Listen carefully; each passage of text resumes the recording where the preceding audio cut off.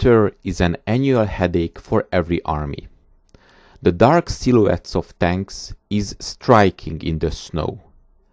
It makes it easier to be spotted not only during the day but also during winter nights which are often bright.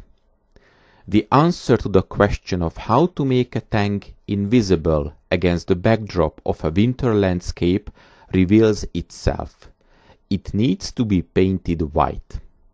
This simple and trouble-free option, however, has its pitfalls.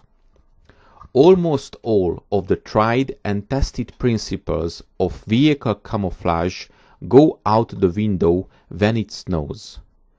Mechanized armies fighting in winter quickly adapted their camouflage tactics to deal with the demands of the conditions. The most vital step when trying to make a fighting vehicle blend into a uniformly white background is the obvious one, it has to be painted white. Ideally, vehicles would receive at least one coat of oil-based titanium oxide or zinc oxide paint. Sometimes a very small amount of blue might be added to enhance the brilliance of the white finish. High quality paint was not always available in large enough quantities, so another common solution was whitewash, an inexpensive paint or stain made from chalk dissolved in water. While readily available, whitewash is not very durable and would wash or wear off fairly quickly. This also meant it could be removed quickly when there is springtime. Paint or whitewash were applied in almost every way conceivable, from cleanly brushing or spraying it on in field workshops to sloping it on with brooms and mops. In many cases crews appear to have splashed paint on directly from a bucket. An overall covering of white was usually intended to aid concealment, to help avoid detection. If the intention was to avoid identification or if the vehicle would be operating in terrain orly sparsely covered with snow, disruptive camouflage patterns which mixed white with dark color, generally just the vehicle's factory paint color, were often employed. Tanks never left the factories in winter camouflage. It was applied to the troops, often by improvised means. Spring will come eventually, and you will have to get rid of winter paint when it does. So pigment must meet two opposite criterias at once. It should be relatively easy to wash, but at the same time stick to the base paint layer quite firmly, without falling off when the tank is shaking on a rough terrain, when it is fired at, and withstand rain and runoff from snow.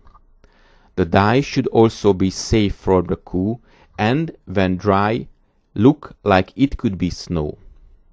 For any paint used on military equipment there should be one more important point that needs to be taken into consideration. It should disguise a combat vehicle from more than what the naked human eye can see. Even before the Second World War the military began to use special equipment to look for these invincible tanks. The tank, which seemed almost invincible, began to stand out sharply against the background of the terrain. So it is necessary to camouflage paint does not show itself when the enemy uses such glasses. The German army hoping to do away with the Red Army long before the onset of cold weather decided to order the winter paint later. So the order to start the production of easily washable camouflage paint appeared only in November of 1941. The German industry could simply not provide all military units in such a short time. German tankers in the Soviet Union had to do with improvised means whitewash, rags of white matter, and even layers of snow rammed on tanks. For the Allies in the winter of 1944 and 45 the situation with the white dye was about as deplorable as the Germans had three years earlier. The German shortage of winter paint led to the two-color camouflage pattern that was widely used on German tank units. Wide white stripes were diagonally applied to the tank body over the standard black and grey color, which was used in those years as a standard for military equipment in Germany. Any white pigment that was at hand was used if factory paint was unavailable. If we talk about winter camouflage patterns of the times of the Second World War more globally, then for all the armies that took part a fair mass of camouflage patterns and patterns is characteristic. Winter camouflage chaos was not only the result of shortage of white dye, it was also influenced by the understanding that winter is temporary and when the snow has melted the tanks will again have to return to their original base color.